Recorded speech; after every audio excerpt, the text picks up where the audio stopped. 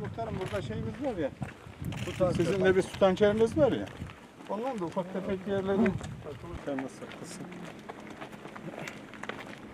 Her bir taraftan hasar tespitlerini yapıyorlar. Yerelde Sosyal Yardımlaşma Vakfımız vatandaşlarımıza yapabileceğimizi yardımlar noktasında tespitlerini yapıyorlar. Ee, Hem e, AFAD Başkanlığı hem Aile Sosyal Hizmetler e, Bakanlığımızın e, destekleriyle bugün yarın tüm zarar gören vatandaşlarımıza bir miktar yardımda bulunacağız. Diğer tespitlerle ilgili de gerekli tüm hazırlıklar bittikten sonra e, devlet olarak vatandaşımızın her türlü yanındayız. E, büyük bir afet atlatmış, atlattı Çanakkale.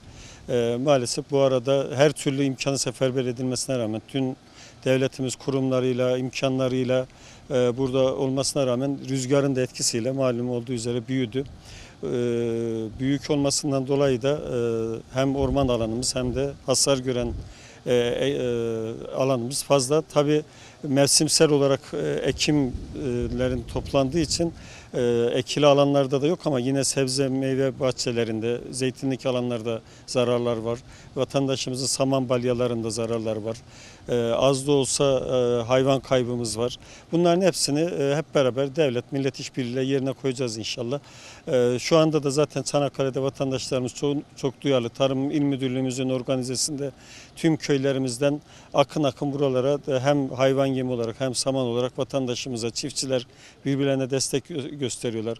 STK'larımız, firmalarımız herkes elinden gelen yardımı yapıyor. E, Ben bu anlamda duyarlılık gösteren muhtarlarımıza, çiftçilerimize de çok teşekkür ediyorum. E, Biraz önce gördük işte beraber e, komşu köylerden gelen saman balyaları zarar gören çiftçilerimize dağıtılıyor. Hep beraber biz büyük devletiz, büyük milletiz. Bunu tüm yaraları saracağız. Sayın Cumhurbaşkanımızın direktifleri de o yönde, Sayın İçişleri Bakanımızın da o yönde. E, ne gerekiyorsa orman köylümüze, yine Orman Bakanlığımızla beraber her türlü desteği verip yaraları saracağız. Umuyorum bundan sonra böyle bir e, büyük yangın yaşamayız. Öyle kayıplarımız olmaz. Ee, devlet olarak dediğim gibi her şeyi yerine vatandaşımızla beraber koyacağız. Vatandaşımız da çok bu konuda e, sağduyulu, e, yapılan çalışmanın da farkında E, hem söndürme aşamasında hem daha sonrasında. Şu anda orman teşkilatımız tüm yorgunluğuna, tüm 3-4 gündür e, çalışma e, yoğunluğuna rağmen burada tüm arkadaşlarımız hem soğutma çalışmaları çerçevesinde hem de ilave tedbirler çerçevesinde tekrar bir e, sıkıntılı durum oluşmaması için e, tedbir elden bırakmıyorlar. Onlara da bu vesileyle başta tarım orman teşkilatımız olmak üzere tüm emeği geçen kurumlarımıza, STK'larımıza da sizler aracıyla teşekkür ediyorum. Tüm e, hasar gören köy sınırı olmadan hasar gören tüm ailelerimizin tespitleri yapılıyor.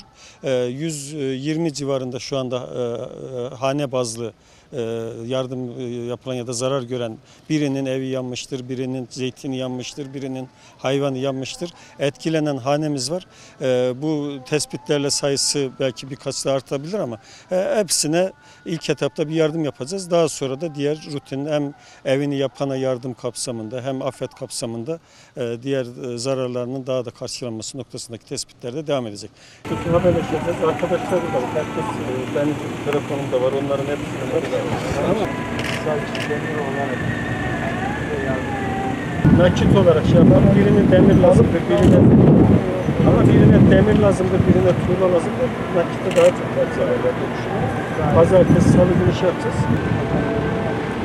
Yapıldıysa bak.